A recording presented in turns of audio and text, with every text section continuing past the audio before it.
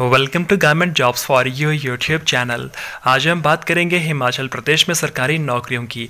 और ये पद भरे जाने वाले हैं एम्स, बिलासपुर, हिमाचल प्रदेश में। यहाँ पर क्लर्क, स्टेनोटाइपिस्ट स्टोर कीपर और रजिस्ट्रार के पद भरे जाने वाले हैं।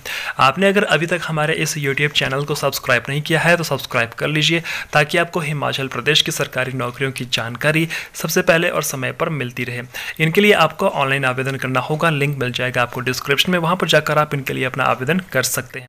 यहाँ पर कुल मिला के छः पद भरे जाने वाले हैं। अगर बात करें पहली पोस्ट की तो पहली पोस्ट यहाँ पर रहेगी रजिस्ट्रार किसका एक पद भरा जाएगा और ये पद अनरिजर्व रहने वाला है।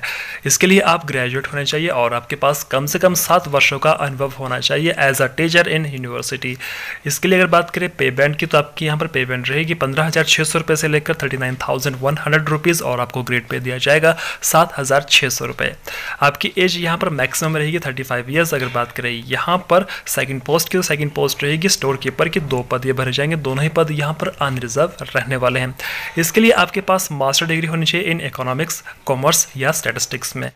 इस पोस्ट के लिए आपका पे बैंड रहेगा नौ हज़ार तीन सौ रुपये से लेकर चौंतीस हज़ार आठ सौ रुपये और साथ में आपको यहाँ पर चार हज़ार दो सौ रुपये का ग्रेड पे दिया जाएगा।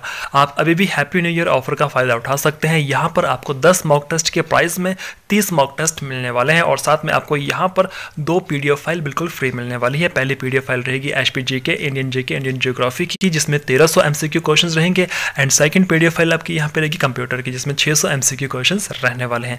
लिंक आपको मिल जाएगा डिस्क्रिप्शन में। आप इसको भी बाय कर सकते हैं टू नाइन्टी में। बात करते हैं यहाँ पर एज लिमिट की। तो आपकी एज कम से कम अठारह वर्ष होनी चाहिए और आपकी मैक्सिमम एज यहाँ पर पैंतीस वर्ष रहने वाली है।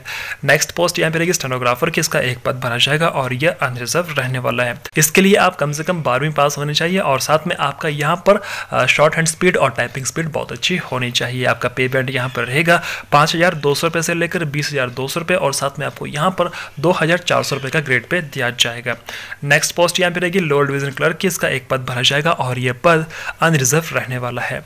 इसके लिए आप बारहवीं पास होने चाहिए और आपकी यहाँ पर जो टाइपिंग स्पीड है वो बहुत अच्छी होनी चाहिए। मतलब कि आपकी यहाँ पर 35 वर्ड्स पर मिनट की स्पीड होनी चाहिए इंग्लिश लैंग्वेज में। पेमेंट आपका यहाँ पर रहेगा। पाँच हज़ार दो सौ रुपये से लेकर बीस हज़ार दो सौ रुपये और साथ में आपको यहाँ पर एक हज़ार नौ सौ रुपये का ग्रेड पे दिया जाएगा। आपकी एज कम से कम अठारह वर्ष होनी चाहिए और आपकी मैक्सिमम एज यहाँ पर तीस वर्ष रहने वाली है। बात करते हैं यहाँ पर नेक्स्ट पोस्ट की जो कि रहेगी लाइब्रेरी अटेंडेंट की।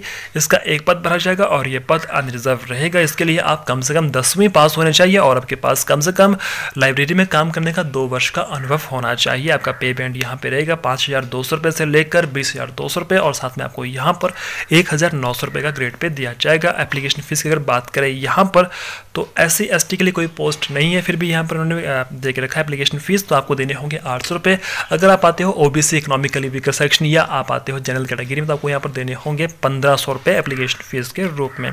इसके लिए आवेदन करने की लास्ट डेट रहेगी चौदह फरवरी 2021 लिंक आपको मिल जाएगा डिस्क्रिप्शन में। वहाँ पर जाकर आप इसके लिए अपना आवेदन अगर आपने अभी तक सब्सक्राइब नहीं किया है सब्सक्राइब कर लीजिएगा। अगर आप हमारे व्हाट्सएप ग्रुप में ज्वाइन होना चाहते हैं तो लिंक आपको मिल जाएगा डिस्क्रिप्शन में।